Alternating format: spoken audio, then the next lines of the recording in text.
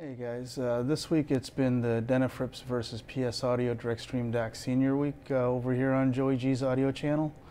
Uh, thanks again for uh, watching the videos. Uh, haven't really done too much in the last uh, couple of months, nothing really to report on. Um, KEF journey is still continuing. I got the crossovers done in both speakers. Um, there's going to be another KEF video coming up soon. It's going to be interesting making some major changes in my rig here, um, which you can't see right now, but that's topic for another Come video. happy. Come on, come. Come baby. No? Okay. So what are my thoughts on the Denafrips DAC? Um, honestly, it keeps up with this guy on everything except the upper mid-range, which tends to have a bit of a hello, I'm here kind of presentation. It's not fatiguing at all. Um, I just, I could hear the difference and I didn't like it. Uh, everything else though, uh, treble extension, uh, lower bass, mid bass, it equals the PS Audio DAC there. My pet peeves against the uh, Denafrips DAC, there's no remote control and I change inputs on the fly a lot when I'm doing critical listening. Um, same thing when I'm streaming uh, Netflix or YouTube or Amazon. You know, so I need to be able to change from my couch potato uh, sweet spot on the sofa, right? I shouldn't have to get up to do that, which is, trust me, it's annoying. For those of you remote control junkies, you'll know what I mean.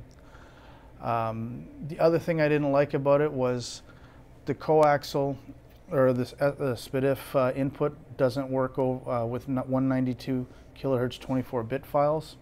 Uh, it works fine on 9624 files, 1644 files, it's, it's all good there, but it will not play back 192.24 over coax and I2S. Um, using USB, 192 files will play back fine. I, I, don't know if it's because of the unit or if it needs to have a firmware upgrade, I don't know, you know, but those were my thoughts on that. The other thing that would have been nice is a second I2S input. Um, again, because I'm spoiled with the PS Audio DAC, you know, TED gives you two I2S inputs, so I use one for PCM playback, and I use the other one for uh, DSD and SACD disc playback. You know, again, using those uh, HDMI to I2S uh, adapter boards that uh, I did a video on a few months ago. So, that said, the other issue that I have with the Denafrips DAC, and again, being spoiled with this guy, there's no uh, volume control. There's no uh, switchable attenuator. So, you know, what you get is a resistor to resistor ladder DAC, you know, with a really, really awesome sound. I'm not going to say, you know, it's that whole upper mid-range thing. It doesn't present itself all the time, but it presents itself on some tracks, which I'll get to in a moment. Um, this guy, you know, it's an all-rounder. Uh, if, you, if you like more of a vinyl, you know, LP-like playback presentation, which PS Audio does and uh, this DAC does in droves. This guy is, yeah, you'd have to you'd have to try it. I mean, if, if they did a 30-day trial where you could try it for 30 days and then and then return it, get your money back, I would suggest going that route. You know, don't just buy it because of some uh, uh, reviewer on YouTube, because this is Chi-Fi at its finest, right? You know, built like a brick, you know, what house, right? Um, whereas this guy's a lot easier to take around and carry around, as I found out last Saturday. Um, I put this DAC into a couple of friends' systems, and uh, they all like what they heard. Um, some of, some people just don't care if it's Chi-Fi or not, right? Other people were like, well, you know, is is the company going to be around in a few years? I'm like, I don't know. It just it sounds good, right?